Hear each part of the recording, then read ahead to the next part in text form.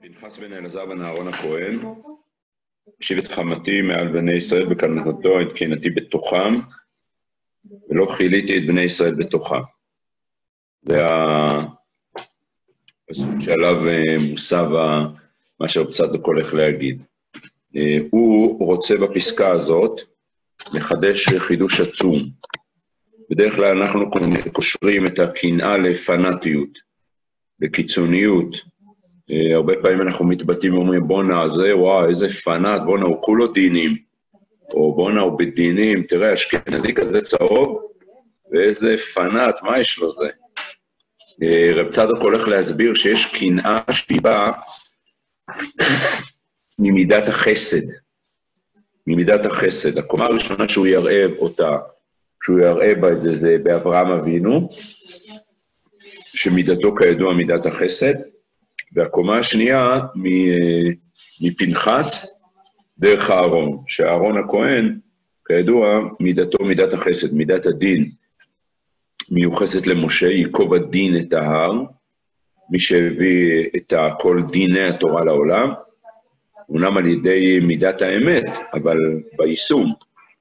אה, אה, משה הוא בבחינת ייקוב הדין את ההר, ואהרון אוהב שלום, רודף שלום, אוהב את הבריות, מקרבן לתורה, המידה שלו מידת החסד. וצדוק הולך לחדש שיש קנאה שהיא לא באה מדינים, מהמקום של מידת הדין, אלא היא באה דווקא מהמקום של מידת החסד, וזה, אה, וזה החידוש בדמותו של פנחס הכהן דווקא. בני יובי, היסוד השני שהוא יסביר, זה למה השבטים כל כך התנגדו למעשה של פנחס, מה היה בדמויות של אה, כוזבי בצור ושל זמרי, אה, ולמה בכל זאת פנחס עשה את מה שהוא עשה. אז אלה שני רכיבים של הפסקה, אחד, הבנת הקנאה בצורה מחודשת, שתיים, הבנת הדמויות שהיו שותפות בפנחס, זמרי וכוזבי בצור, והייחוד שלהם, ולאור זה הבנה יותר מעמיקה למה הקנאה הזאת הופיעה דווקא כאן.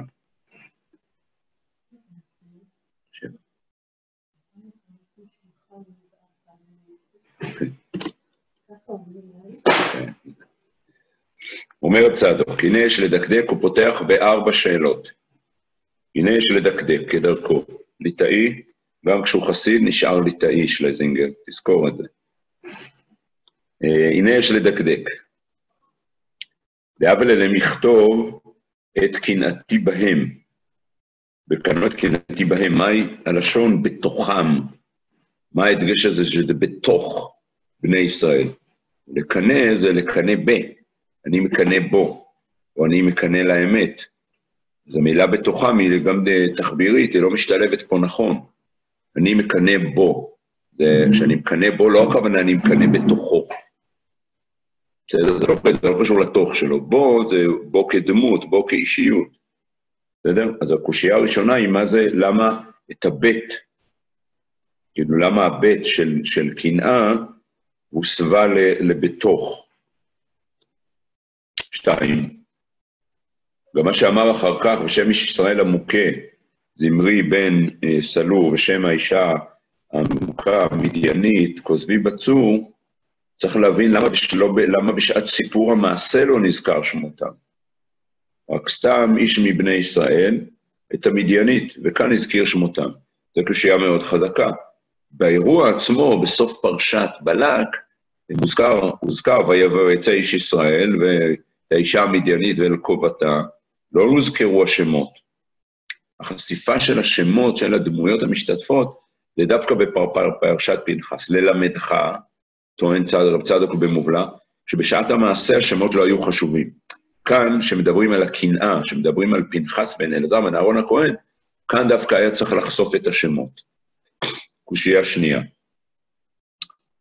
איך העניין? אה, כן, זאת הקושייה השנייה. העניין? מתחיל לתת קומה ראשונה של תשובה, אבל הוא יושיב עליה עוד שאלה. אך העניין, על פי מה שאמרו בגמרא בסנהדרין. גמרא בסנהדרין עוסקת באריכות בסוגיה הזאת של, אה, המעשה של פנחס, כי שם עידן על כל הסוגיה של מותר להרוג, אסור להרוג, האם היה מותר לו לעשות את זה, מה היה, אם אה, זמרי היה מגן על עצמו, מה היתר להרוג במקרה הזה. זה הגמרא בסנהדרין. הגמרא בסנהדרין אומרת שהיו השבטים מבזים אותו. מה הם היו אומרים? ראיתם בן פוטי זה, למה הם קראו לו בן פוטי? שפיתם אבי אמו עגלים לעבודה זרה. לכן בא הכתוב כאן, ויכסו פנחס בן אלעזר בן אהרון הכהן, יכסו לכהונה. מצד אמו, מצד אמו, אה, אה, התורה אומרת בספר שמות שאלעזר אה, בן אהרון הכהן לקח מבנות פותיאל, לא לאישה, וחז"ל אמרו, ורש"י הביא את זה שם, שפותיאל המדובר זה יתרו.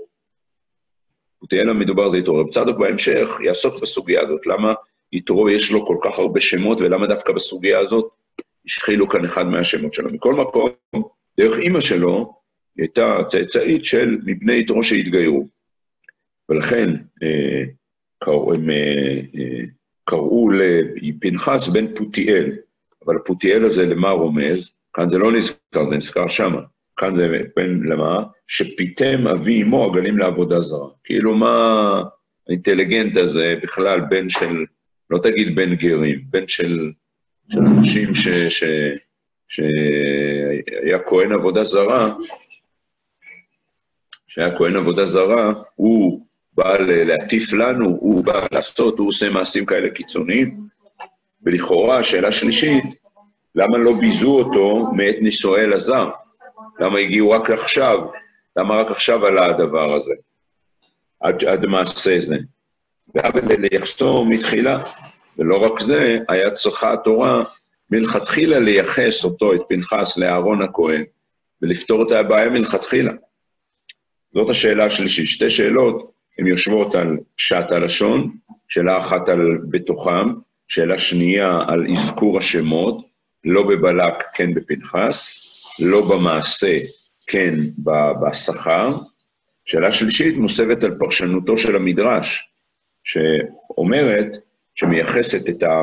שחושפת מאבק שהיה סביב ההריגה הזאת על ידי פנחס, ואומרת, אה, בכלל היה מאבק, שבטים בכלל לא הסכימו לזה, אמרו, מה פתאום הוא עושה את זה, ייחסו את הקנאה הזאת של של פנחס, שהקדוש ברוך אומר, הנה נותן לבריתי שלום, למניעים פסולים או לשורשים פסולים. מסביר רב צדוק, אך העניין הוא שהשבטים היו מקטרגים על מעשה זה, פסיק, שהרגו פנחס לזמרי, אף שלא היה מחויב מיתה על פי דין, רק גנאים פוגעים בו. זאת אומרת, היה באמת מאבק, האם המעשה הזה הוא מעשה לגיטימי? מה זה מעשה לא לגיטימי? ההוא לעיני כולם, לוקח אה, גויה, למצוא אותה לאוהל, שוכב איתה, מה, מה, מה לגיטימי בזה? בסדר, שופטים אמרו, לא לגיטימי המעשה, לא תקין. ועוד על רקע אה, זה ש, שכל העם נכשל בבנות מואב, אבל מכאן ועד להרוג בן אדם הזה, איפה שמענו שמותר להרוג, שבמשפט העברי הורגים בן אדם ש, שבעל גויה, יש על זה עונש, קבל על זה עונש, קבל על זה עונש בשמיים, וכן הלאה וכן הלאה, אבל איפה מוטל? סנהדרין קטלני. שהרגה נפש ב-70 שנה הייתה קטלנית. אתה הולך והורג בן אדם ששוכב עם גויה? איפה נשמע דבר כזה? השבטים היו מקטרגים על מעשה זו, שהרגו לזמרי, אף שלא היה מחויב מיתה על פי דין. או הקנאים פוגעים בו, וגם קנאים, שים לב, אין מצווה על הקנאים. גם קנאים שעושים את זה, זה ההלכה ואומרת, אם קנאים עשו את זה, אז ההלכה לא יוצאת נגד זה. אבל גם הם אין מצווה, לא תמצא מצווה שאומרת, שמע, אדם רגיל, אנחנו לא, אה, אין לו הלכה כזאת, אבל זו הלכה שמיוחסת לחסידים, לצדיקי עליון, לא. גם אין מצווה על הקנאים, שהרי אמרו, הבא להימלך, אם אחד מהקנאים יבוא לשאול את זה, אין מורים לו. רק מי שבוער בו קנאת השם צבאות, דווקא קנאת השם צבאות, הוא מותר לפגוע בו, מותר במובן שהוא לא ייענש על זה. בסדר? זאת אומרת, רואים בלשון, או מדגיש רב צדוק, זה שבית משפט בחיים לא יחייב מיתה על דבר כזה, אחד. שתיים, בן אדם יבוא לשאול בית משפט. יגידו לו, אל תעשה את זה. אין מורים לא יגידו לו לעשות את זה. אולי לא יגידו לו, לא יגידו לו, אל תעשה את זה, אבל אין מורים לו, כמו שהאצבע מראה יפה. רק אם יש סוג מאוד מסוים של קנאה, רק מי שבוער בו קנאת השם צבאות, מותר לפגוע בו, אומר רב צדוק, על זה בדיוק הייתה המחלוקת. מהי הקנאה של פנחס? האם היא קנאת השם צבאות? האם אתה באמת בא ממניעים חיוביים, אמיתיים, עמוקים, נכונים, או שמה שמניע אותך זה מניע פסול עמוק מהקלקול הנפשי שלך. תראו שרב צדוק בעקבות המדרשים פותח פה סוגיה על קנאת פנחס, אבל למעשה הוא מעלה פה את שאלת היסוד בכלל בכל הסוגיה של מידת הקנאה.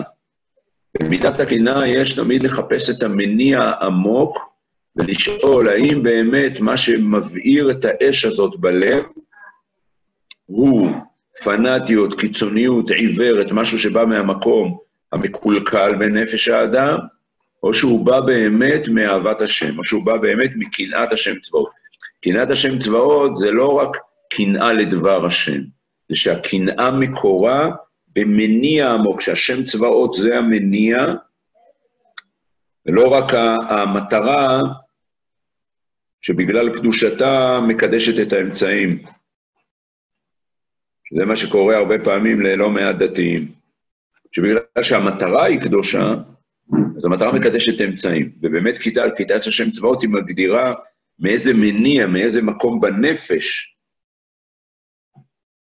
מאיזה מקום בנפש מגיעה הקנאה הזאת. שם צבאות פה זה כאילו ההגדרה של המניע, ההגדרה של המקום הנקי בנפש ממנו זה מגיע. והם התרגו השבטים על זה ואמרו, הלוא ראינו שמשה רבנו לא הרגו. אם זה כזה נכון וזה כזה מותר, למה משה רבנו לא עשה את זה? והוא גדול ממך, הם אמרו לפנחס. ולא נתערער מי להורגו, רק הוא איך זה שמכל הצדיקים ומכל הגדולים ומכל השופטים ומכל הזה, אף אחד לא יתעורר, זה רק אתה. כנראה שזה משהו שנמצא רק אצלך בנפש. מה נמצא, נמצא רק אצלך בנפש? זה שאתה צאצא של יתרו שפיתם את אה, הגלים לעבודה זרה, כהן מדיין, מדיין זה משון דין, במקום לבוא ממקום של הכלה ושל חסד ושל אה, אה, לתת צ'אנס, אתה נתת לדין שבא מהזרע המדייני שבך, ועשית את מה שעשית נגד, נגד מה שנכון. הנה זה כתוב, מן הסתם אמרו, מן הסתם הוא מטעם שהוא מזרע יתרו, היה כהן מדיין, והיית בזוהר הקדוש בסיטרא אחרא, התרזה. בצד של הסיטרא אחרא, של המידות הרעות, של הצד האחר של המידות הרעות, יש ראית רזה דהו מלך, יש מדרגה של מלכות של הקליפה, של הטומאה, ותחתו היא, מתחת לזה יש כהן, שנקרא כהן אבן, כמו שבקדושה יש מלכות ויש כאמונה, ככה גם בסטרא אחרא, בקליפת מדיין, שנידונה בהקשר של, של כהן אבן, אז קליפת מדיין הוא כעס. כמו דאמר רזדה, הסוד הזה של כהן אבן, אשת מדיינים, אל תקרא אשת מדיינים, אלא מדנים. השם של האומה הזאת, מדיין, לא לחינם הוא בא מאותו שורש של מדנים, כי הוא מבטא את המידה היסודית את המידה היסודית של האומה הזאת. ואמרו השבטים שמפני שהוא מזרע יתרו כהן מדיין, וכך נתעורר לקינה זו, מה שלא היה על פי דין, במקום ללכת על פי דין, הוא הלך לצד, לכעס שבדין, ועשה את ההרג הזה. תראו איך רב צדוק משחק על מדיין, מדיינים, מדנים על פי דין. החריגה, ההליכה לא על פי דין, היא לא באה ממקום, ממקום טוב, היא באה ממקום של מדיין, של הדין בצורתו הכועסת, המקולקלת, היצרית, זו ששייכת לסטרא אחרא. ככה מסביר צדוק את הקטרוג של השבטים. זאת אומרת, השבטים לא סתם אמרו, מה פתאום עשית את זה, זה בסדר שהוא היה עם גויה. הם אמרו, זה לא בסדר, זה לא תקין, אבל זה לא הסוגיה. הסוגיה מאיזה מקום בנפש הגעת לקנאה הזאת, האם הגעת לזה מזה שאתה עושה, פועל על פי הדין, פי ההלכה, והיא דואגת שזה לא יבוא ממקום רע, שהיא דואגת שזה לא יבוא ממקום רע, אתה נורא מרעיש, שמואל. היא פועלת, היא דואגת שאתה לא תבוא ממקום רע, ואם אתה לא הולך על פי דין, שהדין תכליתו לוודא באמת את הדבר הזה, פתאום מתגלה שהמניע לך זה בכלל לא קהילת השם צבאות, זה לא החיבור להשם, זה המידות הרעות המקולקלות שהבאת מהעבר הלא להיט שלך. על זה היה הוויכוח בין פנחס לבין השבטים. זה מה שטענו השבטים. כן? שכן מצינו, הנה רב צדוק עכשיו נותן הגדרה חשובה, תמרקרו אותה, שכן מצינו, בסדר? עד כאן הוא הסביר שתי אפשרויות לקנאה, בסדר? למעשה, שתי אפשרויות אחת, אחת הוא הסביר אותה מאוד, זה מדיין, והשנייה, הוא רק רמז שקנאה צריכה להיות על פי דין. דין מדיין, זה שני הצדדים. הוא לא ביאר אותה, את זאת שעל פי דין, הוא כן ביאר את הקנאה שקשורה למדיין, זה קנאה שבאה מכעס בנפש. מה, שאתה פוגע באדם מסוים, או מבקר אה, מעשה או התנהגות שלו, ופוגע בו על בסיס זה, תבדוק טוב טוב מאיזה מניע בנפש זה מגיע. זה עלול מאוד להגיע מהכעס, מהמקום של הדין הלא מתוקן. מצד הדין, שהלא מתוקן, שהכעס מחובר אליו. עכשיו רב צדוק הולך עוד צעד, שכן מצינו בכל מקום, זאת אומרת, זו הגדרה יסודית בקנאה, לשון קנאה הוא בלא גבולות. בסדר? שורש קנו, כמו שכשאנחנו קונים עם ה' בסוף, אתה קונה, אתה סופח לעצמך דברים, גם קנו, מלשון כן, משורש כן, הוא אה, אה, בלא חשבון. מה הכוונה כאן בלא חשבון? הנה הוא מביא דוגמה ועל בסיסה מסביר את זה. תראו שטמון כבר כאן, שכנראה שזה קשר מוזר ולא ברור, שבין הקנאה לבין מידת החסד. כי המידה שהיא באה בלא גבולות היא מידת החסד, ופה הוא לא אומר בלא גבולות, הוא אומר בלא חשבון. בואו נראה למה הוא מתכוון ולמי הוא קושר אותו. כמו שמצינו אצל אברהם אבינו, עליו השלום, שהרדף אחר ארבעת המלכים, שהיה בלא חשבון. מה הכוונה בלא חשבון? הנה הוא מסביר. שהיה בלא חשבון לרדוף במתי מספר כזה אחר ארבעה מלכים גיבורים כאלו שניצחו חמשת המלכים. ולמה היה לו למסור נפשו על זה? הנה הוא אומר, מה זה הלא חשבון? הלא חשבון זה ללכת על הדבר בלי, בלי לחשוב בכלל האם הפרופורציות הן הגיוניות. האם הפרופורציות הן הגיוניות? ללכת עם מחלקה על חטיבה זה משהו לא הגיוני. ללכת עם כיתה כנגד דודו, זה, זה בלא חשבון, זאת אומרת, אתה לא מחשב את סדרי, ה, ה, ה, את סדרי הגודל ואת סדרי הפעולה ההגיוניים, אלא, הוא אומר כנגד זה, אתה מוסר את הנפש, כן. שורה שלישית, איפה שהאצבע, המסירות נפש. מסירות נפש, שאדם מוסר את נפשו בלי חשבון. זה הלב של מידת הקנאה. שבן אדם לא מחשבן את החשבונות הרגילים, אלא קוראים לזה, אלא עף על זה, במסירות נפש. לא מחשבן את החשבונות הרגילים, אלא עף על זה בלי, בלי, בלי לחשבן. זה הכוונה כאן בלא חשבון. והדוגמה היא ניתנת מהמסירות נפש של אברהם, תשימו לב, על לוט. זו מסירות נפש שהיא באה ממידת החסד של אברהם. מסירות נפש שהיא באה מהדאגה לזולת, מהנתינה לזולת. נתינה בלא חשבון, לשם קשורה הקנאה. קנאה זה לא לקנא במישהו על מה שיש לו, אין לו. קנאה זה גם לא פנאטיות עיוורת, זה שבן אדם מוסר את הנפש. שבן אדם מוכן לצאת מהמקום הנפשי הרגיל של החשבונות, יצליח, לא יצליח, ילך לי, לא ילך לי, אני אשרוד את זה, אני לא אשרוד את זה, ומוסר את הנפש למען דבר שהוא חשוב בעיניו, שהוא משמעותי. אני קורא עוד פעם, כמו שמצינו אצל אברהם אבינו עליו השלום, שרדף אחר ארבעת מלכים, שהיה בלא חשבון, זה המושג של בלא חשבון. לרדוף במתי מעט כזה אחר ארבעה מלכים גיבורים כאלו שניצחו חמישה מלכים. ולמה היה לו למסור נפשו על זה? רק מפני שבער בו, הנה הוא חוזר עוד פעם על הביטוי, קנאת השם צבאות על הרשעים האלו. כל כך בערה בו אש, האש הזאת של, ה, של קנאת השם צבאות על הרשעים הללו, כמו דאית במדרש על הפסוק, אה, כמו דאית במדרש על זה, חרב פתחו רשעים, אלו ארבעה מלכים המרפל וחבריו. שימו לב לחידוש המרתק שרב צדוק מביא פה בשם המדרש, שעדיין לא היה מלחמה בעולם, ואלו, באו אלו ופתחו בחרב. מסביר צדוק, וחידשו הם לעשות מלחמה, לשפוך דם, כדי לכבוש מדינות או מפני הקמות וכדומה זה. ולכן בער בו בירת קנאת השם לרדוף אחריהם. כמו שאמרו במדרש רבה, אמר עוג, כשהוא בא לבשר לאברהם, אבל אברהם זה קוניון הוא, קוניון זה קנאי, ויוצא למלחמה וייהרג ואני אקח את שרה. זה, זה למה אה, עוג סיפר לאברהם שנשבע, שנשבע לוט. אומר פה רב צדוק דבר מדהים, המקור של מידת הקנאה החיובית זה אברהם אבינו איש החסד, אב המון גויים, מקרב את כולם לתורה. איפה הקנאה שלו התבטאה?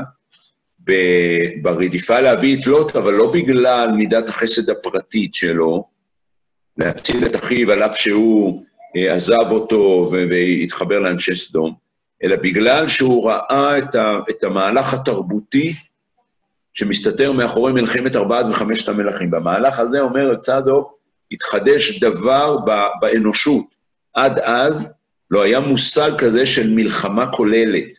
היו מאבקים בין אנשים פרטיים, בין שבטים, נלחמו על אוכל, נלחמו אה, על, על, אה,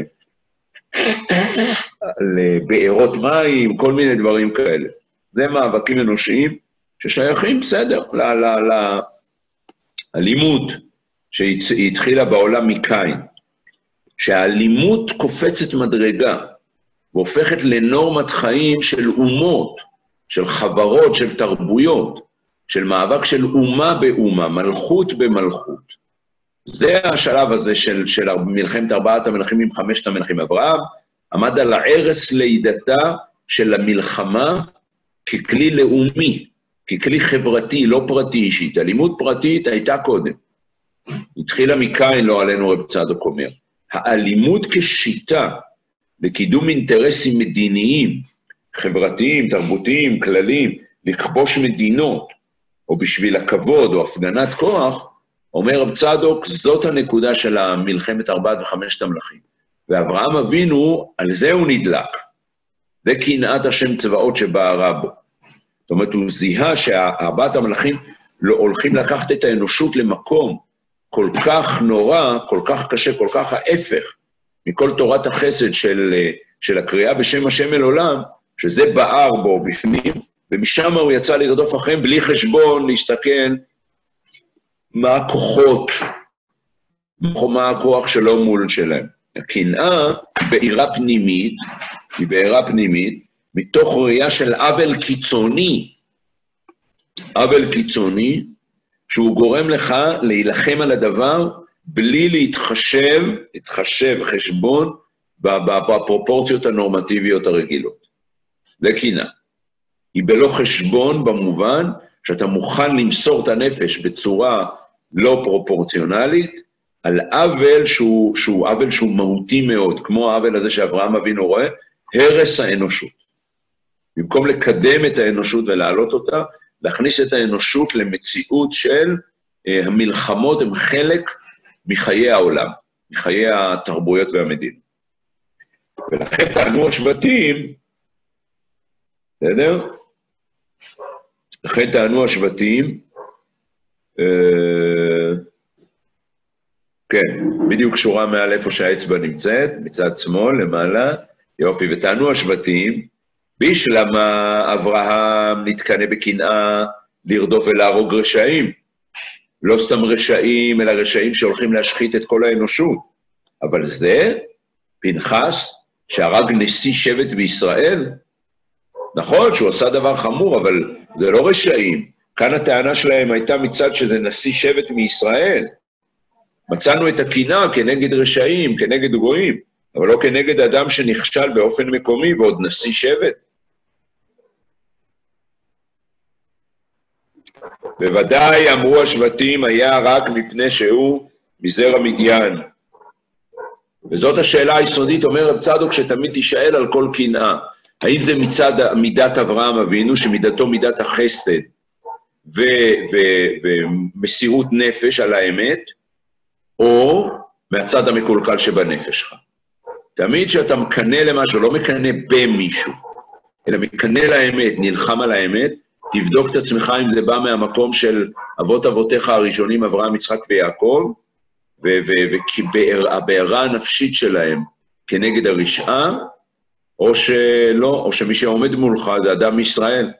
טעה פה, טעה שם, קלקן כאן, קלקן שם, אבל, אבל האם אתה לא מפעיל את מידת הקנאה על מישהו שהוא לא הכתובת, וממילא זה מלמד, ממילא זה מלמד ש, שהמקור אצלך, שהמניע, הוא לא טוב. תראו, הטענה של השבטים במובלע הייתה שאם הכתובת היא לא נכונה, אז היא מלמדת על המניע המקולקל בנפש, על המניע הלא נכון, ועל המקום המקולקל בנפש.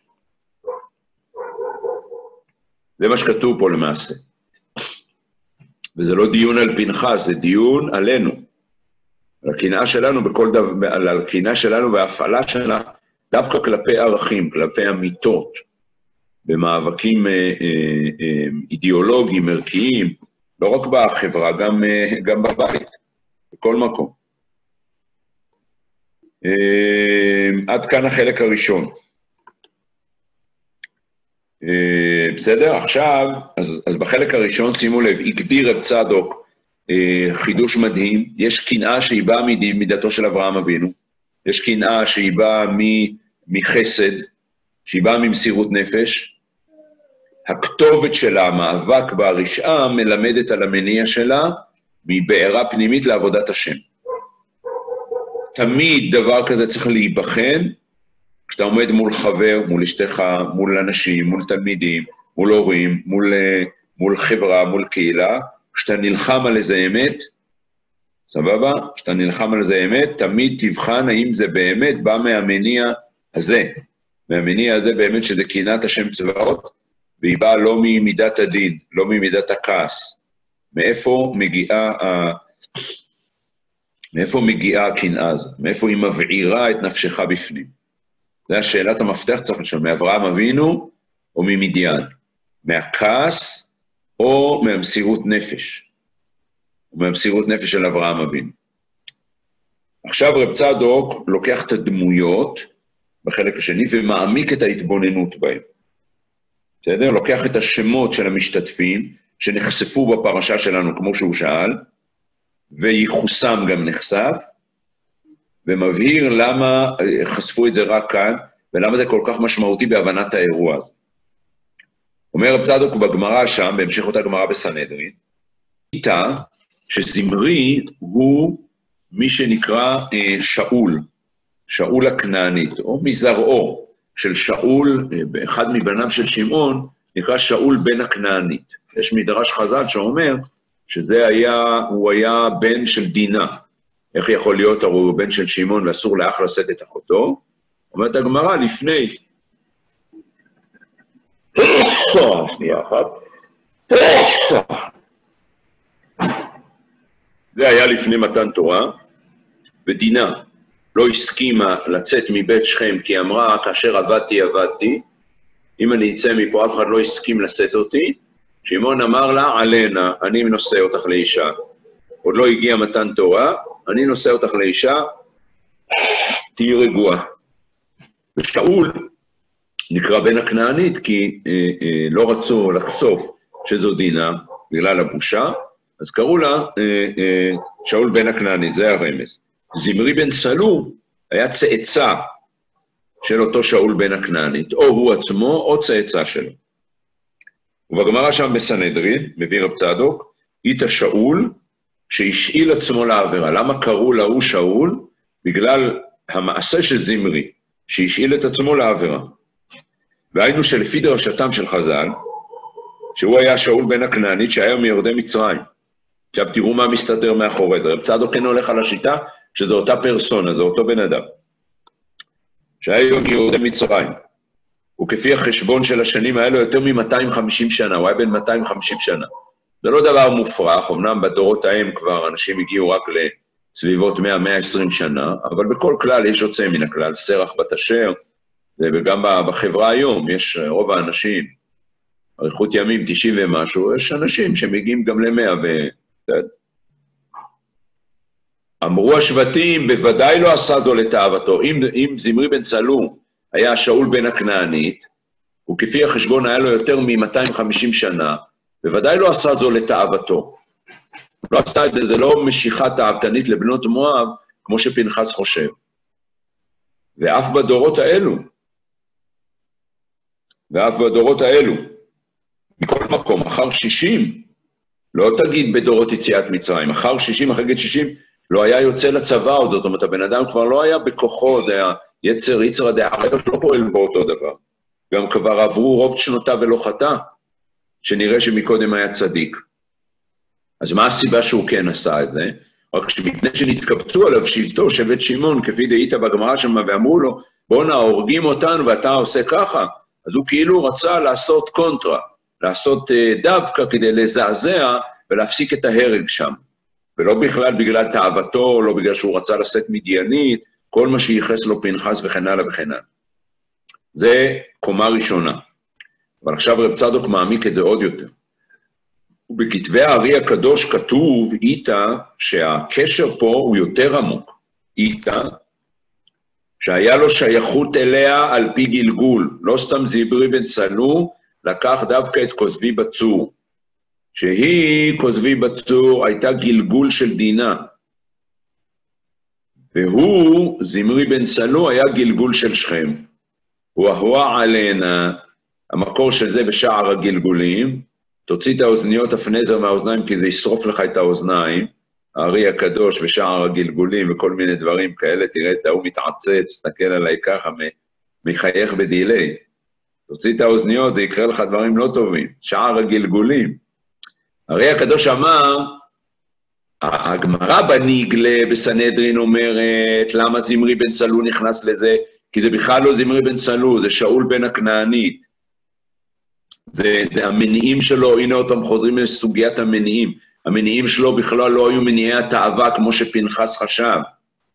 לא רק זה אומר הארי הקדוש קומה שנייה בניסטר, בכלל באמת זיברין בן צלו הלך לכוזבי בצור בדווקא, כי הוא היה גלגול, היא הייתה גלגול של דינה, והוא היה גלגול של שכם. ואף על פי כן, אבל על כל פנים, כי תרבו השבטים שלא היה צריך להורגו. כי לא מצאנו שבית דין הורג, ולא מצאנו שגם לקנאים יש מצווה כזאת.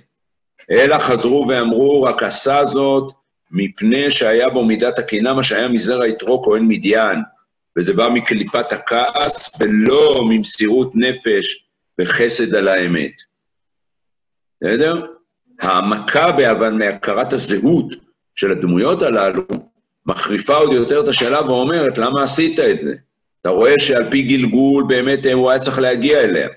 אנחנו יודעים להגיד שהוא היה צריך לגייר אותה. ו- וגם בנגלה, בגמרא רואים שהמניע הוא לא מה שחשב פנחס. זאת אומרת, השבטים אמרו, לא רק זה, אמרו גם, לא רק שהמניע שלך, כשאתה בא, כשאתה בא ממניע מקולקל, הוא גורם לך לראות מניעים מקולקלים באחרים. רואה באחרים מניע, מניע מקולקל. כל הפוסל, במומו פוסל. בסדר? כאן, אם בחלק הראשון דנו מה המניע של הקנאה, פה אנחנו רואים מה הקנאה רואה באנשים אחרים, היא רואה מניעים קולקלים במקום שזה לא נכון. פעם אחת בניגל הוא לא עשה את זה לתאווה, פעם שנייה בניסטר, בסדר? המניע הנשטר זה בכלל בגלל הגלגול. מניע אחד, לא תאווה. מניע שתיים, אה, נסתר, גלגול. ומי שהמניע שלו מקולקל, מקליפת הכעס, כמו שהאשימו השבטים את פנחס, הוא רואה מניעים לא נכונים באחרים. לא רק שהמניע שלך לקנאה שלך הוא מקולקל, גם אתה משליך את זה על אנשים אחרים, אומר, אה, אה, אמרו השבטים לפנחס. בסדר? הקנאה הזאת של פנחס והבדיקה שלה, היא מאפשרת לנו לבחון לעומק רכיבים במידת הקנאה גם אצלנו. אחרי שנזיז הצידה את כוזבי בצור ואת זה ואת זה, ונשאר עם ההגדרה של הקנאה לבד, מה אני צריך לבדוק? לא בכלל מה היעד. תמיד אנשים אומרים, מה, אבל זה, זה, זה דבר חשוב, אסור לתת לזה לקרות, זה, זה, זה, זה בנפשנו הדבר. נכון, אנשים, אתם צודקים, אבל תבדוק מול מי אתה נלחם, צדיקים או רשעים, ולאור זה תבדוק מה המניע אצלך בנפש. קליפת כעס, דינים, או שאתה פועל על פי דין, או שאתה מוסר את הנפש על אמת אמיתית, או שאתה בא, בלי חשבון שלך, הוא לא, לא רואה בעיניים וגומר את כל מי שבאזור, אלא לא רואה בעיניים את המסירות נפש שאני צריך לתת.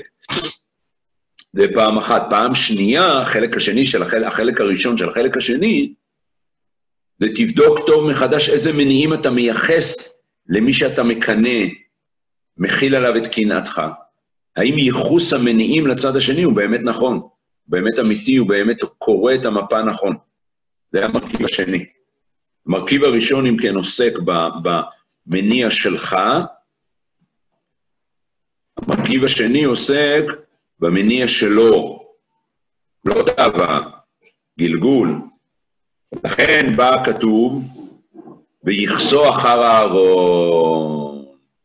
יכסו אחר הארון, היינו לאורו דאדרבה, מידתו של פנחס והמניע שלו, המניע במובן העמוק, המנוע, הייתה מידת החסד, מידת אהרון הכהן, ולא המניע שהשבטים כתבו. לכן כתיב, בקנאו את קנאתי בתוכם. בתוכם, עכשיו אנחנו עונים על השאלה הראשונה, ולא בהם, כי בתוכם זה חלק ממידתו של אברהם אבינו, שבשעת הקנאה היה גם כן בתוכם, בתוך בני ישראל, ורק מרוב רחמיו על ישראל, אז לכן התקנא קנאת השם צבאות לפגוע בזמרי. ועבור זה נתן לו את בריתו שלום. כאן הוא עונה על השאלה הראשונה, למה כתוב בתוכם ולא בם, בסדר? ולמה דווקא בשעת הסיפור הוא הסביר את הדבר הזה? כי הוא רצה לייחס אותו דווקא ולהסביר את המניע. הקריאת שמות היא בכלל לא באה לתת אה, ביוגרפיה, היא באה להגיד איזה מידה הניעה את פנחס. מידתו של אהרון הכהן, מידת החסד, מידת הרחמים, מתחבר לאברהם, לאברהם אבינו, הקנאה והבעירה שלו הייתה על זה שעם ישראל נהרס, על זה שאדם בסדר גודל כזה, אפילו שהוא גלגול והוא צריך לתקן וכן הלאה וכן הלאה, סבבה, תתאפק, תיקח אותה, תגייר אותה, כמו משה ציפורה, ו- וסבבה, ותשלים את התפקיד שהארי נתן לך. ואם ממה נפשך אתה כל כך זקן ולא בא מתאווה, וזה לא בא מתאווה, אל תעשה את זה בדרך מקולקלת כזו. הרחמים של פנחס על עם ישראל, שהם המשך למידת החסד של אהרון הכהן, שאוהב את הבריות ומקרבן לתורה, זה היה המניע והמנוע של הבעירה של פנחס. מה שהוא קורא כאן, הרחמים, בדיוק בדרך השם היום בחבורה למדנו על דין ורחמים, או שהתחלנו עכשיו פרק על זה. זה החידוש הגדול של רב צדוק. כאן, המקור של קנאתו של פנחס, זאת אומרת, עכשיו מקבלים התשובה לשאלה השנייה, למה כתוב בבלק לא הזכיר שמות, פה כן הזכיר שמות. כי הוא רוצה להזכיר מי הדמויות, מה, מה הגלגול שמאחוריהם, לאן זה מתחבר, ולאן פנחס מתחבר. לא לקליפת הכעס, לא למדיין, לא לבן פוטי, לכן לא הזכירו את זה כאן, אלא לאהרון, לא אהרון האיש, אהרון המידה, חסד, הרחמים על עם ישראל. ורק מרוב רחמיו על ישראל, לכן התקנא בקנאת השם צבאו לפגוע בזימוי, עבור זה נתן לו השם בריתו שלום. ולכן הוזכר כאן שהמוכה היה נשיא בית אב לשמעוני, הנה הוא עונה על שאלת הפירוט מלכתחילה. והיית בזוהר הקדוש, כן, שהוא נשיא בית אב לשמעוני.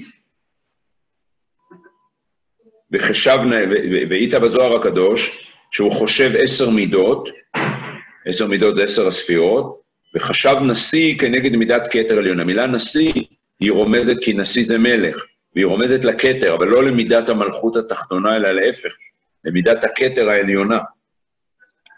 אה, וכן, בה, וכן כתב בראיה מימנה, שחשיב הנשמות מעשר ספירות כסדרן, וחשיב הנשיאים כנגד כתר עליון. כלומר, המידה, המילה נשיא שטרחו להזכיר כאן, בשם האיש המוקד זמרי בן צלו, נשיא בית אב לשימון. וכן בהפך, הייתה היא בת צור, ראש האומות, ואחרי כך כתיב בת נשיא מדיין אחותם. עכשיו הוא מתכתב עם הגלגול של הארי הקדוש, לומר שהייתה מראשית הקליפה. זאת אומרת, המדרגה הגבוהה של האנשים האלה, מה שהארי פתח לנו איזה חלון ועסק בענייני הגלגולים, זה, זה היה קרב-קרב. זה היה פנחס כמייצג את הרחמים על ישראל מול כוחות עוצמתיים מאוד בקלקול. היא, שהייתה מראשית הקליפה, והוא, שאת הנשיאות שלו לקח לעניין של התאווה, מפני זה היה הקטרוג עליו מהשבטים, בגלל שהם ראו את הנשיאות של, של זמירי בן סלו, ואמרו, בואנה, נשיא, איך אתה עושה את זה? לא בגלל המעמד הפוליטי שלו, בגלל שנשיא משקף מדרגה מאוד עליונה, ופנחס אמר להם, נכון שהוא משקף מדרגה עליונה, אבל פה יש חיבור נוראי של נשיא ש, שכשל לעריות, עם אה, אישה שמייצגת את ראשית הקליפה. ולכן פנחס לא יכל לתת למפגש הזה להתרחש, והשם נתן לו את בריתו שלום. והיית על קינתו שהמעשה הוא מעשה חריף מאוד, אבל קינתו הייתה רק במידת הכעס אחד, ובתוכם שתיים. כלומר, מרחמים עליהם באמת. זה המשמעות של בתוכם. לכן זה מה שכתוב בשורות האחרונות שאנחנו רואים פה עכשיו בראש העמוד, וכן בהפך הייתה היא בצור, ראש אומות למדיין, ואחר כך כתיב בת נשיא מדיין חותם. הפסוק משתמש בכוונה בביטוי הזה, כדי לומר, כמו שהוא היה אמור להיות נשיא ברוחניות, ככה הייתה היא בצור, הוא, הוא, הוא, הייתה היא בדיוק ההפך, מראשית הקליפה. מפני זה היה הקטרוג עליו, על פנחס מהשבטים, איך הרגת נשיא, איך הרגת אדם כזה, כזה מרומם. ופנחס ענה להם, זה לא אדם מרומם, זה אדם ששעה, שקע לתחתית הקליפה, והשם יתברך נתן לו את בריתו שלום, ואמר, המניע שלו הוא לא המניע שאתם חושבים, זה לא מדיין, זה אהרון, ואהרון משתרשר לאברהם, ואברהם ואהרון, ושניהם רוצים את, ה, אה, אה, רוצים את הרחמים על עם ישראל. זה הדבר המדהים, לכן זה נקרא, נתן לו את בריתי שלום, כי השלום זה האיזון של כל המידות על בסיס מידת הרחמים. הרחמים נקראים עמודא דאמצעיתא, והמידה שהיא אוספת את כל המידות, גם הימין, גם השמאל, גם הדין, גם החסד, זה, זה מידת היסוד שנקראת שלום, והיא מתכתבת עם הרחמים. הצינור שדרכו הרחמים פועלים בעולם, זה המשמעות של הביטוי שלום כאן, זה הצינור שדרכו הרחמים פועלים בעולם. ולכן נקרא, אני נותן לו את בריתי שלום, את היכולת לבעור בקנאה, אבל רק מתוך רחמים, רק מתוך חסד, ולא ליפול למניע השלילי של הכעס, קליפת מדיין, שגורם לך לראות מניעים מקולקלים באחרים. מתוך המניע של רחמים על עם ישראל, אתה מזהה את המטרות נכון, ולא מתבלבל בנשיאות המדומה של הזה, רואה את הקלקול, ומתוך רחמים לעם ישראל עושה את המעשה, המעשה הנכון. חזק וברוך. תודה רבה, הרב. תהילי צדיקים. רגע, אני רוצה...